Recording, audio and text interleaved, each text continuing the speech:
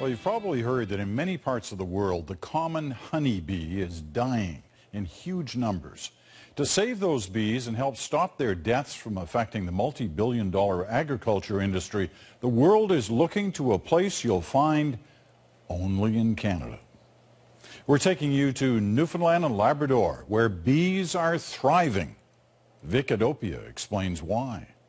This is the place to be if you're a beekeeper. The air here is sweet with the scent of honey. That's about as good as it gets for honey. These beehives are as productive as ever, but that's not the case in the rest of Canada, where bees died at an alarming rate this past winter. As everybody knows, bees are vital to the uh, to our food supply. And when you hear beekeepers losing 30%, 50%, some even 90% of their hives, uh, it's very disturbing. The high bee mortality is blamed on the spread of mites that feed on honeybees. There's also growing evidence certain insecticides used on commercial crops could also be responsible. Commercial farming is relatively limited here, so Newfoundland remains a honeybee bastion. Being an island, we don't have the pests and diseases that uh, the beekeepers have with their bees on the mainland. Our bees, therefore, have, are not fed any drugs no medications whatsoever. And they are, for the most part, eating and foraging off uh, wildflowers. The honeybees in Newfoundland and Labrador are doing phenomenal.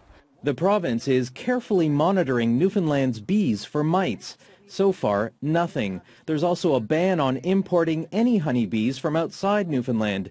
The restriction appears to be working, at least for now. And that's it for now, fingers crossed. I always say it's not a matter of if, it's a matter of when. And I'm always prepared for the phone call that says, we found it. But right now, because of the diligence of the beekeepers in this province, we have been able to avoid that. Yeah. While Newfoundland's honey industry is small, Head says the province could have a role in the long-term survival of the beleaguered bee.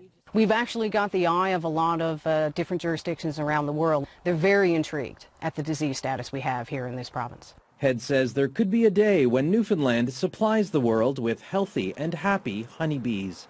Vik Adhopia, CBC News, St. John's. If you have an idea for Only in Canada, we want to hear from you. Just go to our webpage, cbcnews.ca slash only in Canada to send us your ideas, photos, and videos.